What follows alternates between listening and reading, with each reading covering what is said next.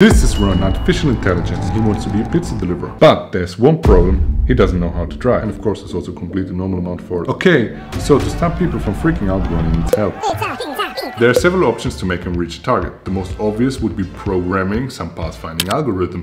But you click to see some AI learning to deliver pizza, so let's use machine learning to make the machine learn. Our still dumb AI wants to reach a target and knows its own position. We shoot some rays in every direction, which are basically the eyes from our AI. And with these rays, Ronnie can detect objects as for example this tree. All this stuff is our input, which is now processed using mathematical functions or algorithms. This is what's called a neural network, which is basically an artificial brain that we give to Ronnie so that he has the ability to decide if he wants to drive forward, backward, left or right. Right now, he has literally no idea what he's doing there. He just takes some random actions and tries to figure out what's good and what's not so good. You might think Ronnie is a programmer and we give him a reward every time he does something good, which means reaching the target. And whenever he does something not so good, for example, crashing into a house, we give him a little punishment. To stop Ronnie from just standing around, we also give him a little punishment every second. So the rewards work basically the same like teaching the dog to sit. Whenever the dog sits down, you give him a treat, showing him that this is what you want from him. Now you know the basics of reinforcement learning. Over time, he should learn to reach the target and stop crashing, so that he maximizes his rewards. If he hasn't reached the target after 10 seconds, we reset the scene and he needs to start again. This setup seems to work because after a few minutes of training he starts to understand and he gets rewarded for reaching the target. However, we want him to deliver pizza to every house, even to this one. But we start simple on an empty parking spot with a very close target to make it easy for Ronnie so that he gets his reward. And as he's still pretty it's really important to give him the right rewards for the right actions. Everything here looks functional, but of course what you see wasn't our first attempt. For example, if we give Ronnie too much rewards for accelerating, he literally acts like a dog chasing his tail. But when I think now, he can't be that silly, he just exploits our reward functions.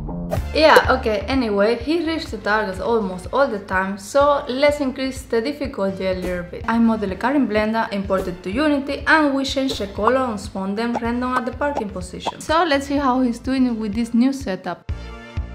And yes, he perfectly understands what to do with parked cars. To speed up the training process, we generate 500 clones of Ronnie, where each of them will train and learn his own environment. But as we don't want to put our computers on fire, we simplify the environment by using simple shapes and colliders. So these 500 clones learn how to drive simultaneously and this cumulative information generates our neural network and gives Ronnie a super brain. But at the moment it looks more like a chicken brain. Yes, so let's give him a little bit more time to learn because we can see he still has problems going backwards, like every time he crashes he just tries to go through the walls.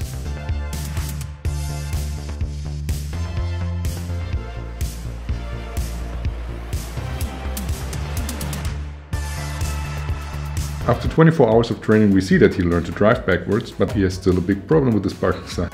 Anyway, we decide to increase the target radius because we see that Ronnie is somehow reaching the target, so now he needs to drive to one of these houses.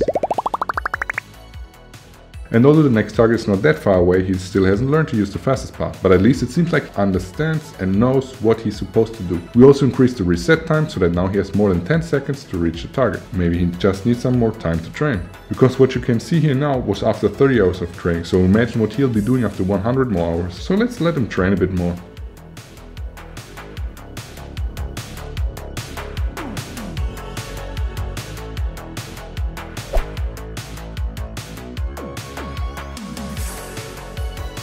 After a while, we increase the difficulty even more by adding cars, trash cans, and very smart people walking around. Okay, now it's actually time to deliver some pizza.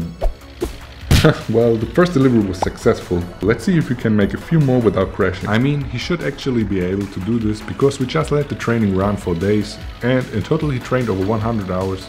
It's certainly possible to design the training setup better so that our AI would drive perfect in less time but what I can see is that Ronnie probably drives better than I do.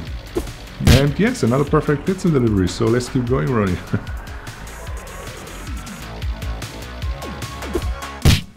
well, don't be like this guy over there still waiting for pizza. Subscribe and hit the like button to make Ronnie deliver pizza to your house.